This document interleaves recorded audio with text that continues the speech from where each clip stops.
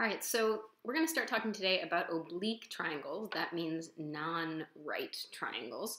Uh, so most of the ways that we know how to solve sides or angles in a triangle involve trig functions, right? So if you have a right triangle, you can use SOHCAHTOA, uh, which is a way to find the sine, cosine, or tangent. Uh, if you're missing only one side and you know the other two sides of a right triangle, you can use Pythagorean theorem. So, uh, so again, if we have a right triangle, right, so we have a right triangle, we can use SOHCAHTOA, right? Katoa. And we can use Pythagorean theorem, right? Um, and those are great, right? So we use SOHCAHTOA anytime we're looking at things that relate to angles. We use Pythagorean theorem anytime we're looking at things that relate to sides. And that's great if you have a right triangle. The problem is if you have a non-right triangle, which again we call oblique. Uh, when you have a non-right triangle, neither of those things work. So if you have a right triangle, that's great. If you have a non-right triangle, you need other options. So uh, if you have an oblique triangle. What we're going to learn in this uh, section and what we'll, we'll do moving forward are, are two rules. Uh, we're going to learn the law of sines, which involves using a sine function. We're going to learn the law of cosines. And then we're going to learn a formula uh, that helps us find area, which we're going to call Heron's formula so Heron's formula or Heron's equation. So, uh, so that's kind of the primary focus of this particular section is dealing with non-right triangles. Before we move mm-hmm. forward to actual lessons, let's talk a little bit about labeling triangles.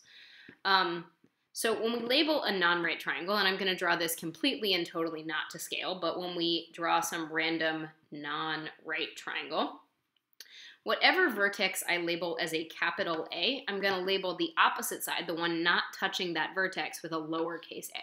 So the vertex or the angle itself will be called capital A. The opposite side from that would be called lowercase a. If I call this vertex capital B, then the side that's not touching that capital B, right, so these two sides are touching it, the opposite side is going to be a lowercase b. And if I call this vertex C, then the side not touching it is going to be a lowercase c.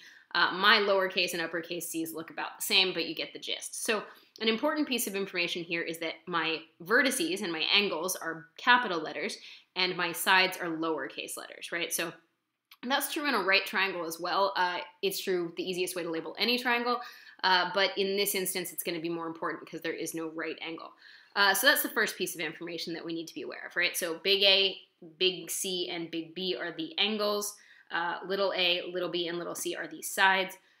Uh, cool. Uh, when I am asked to solve a triangle, right? So to, if you're asked to solve the triangle, what they're asking you to do is they're asking you to find the measures of all sides and all angles. So the way I personally do this, right? So this this is saying find the measure of all sides and all angles, right?